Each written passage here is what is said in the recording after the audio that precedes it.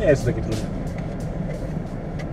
Jakby co, e, najważniejsze, co trzeba zrobić, o ile będzie widać, e, tutaj i tutaj są takie małe otwory.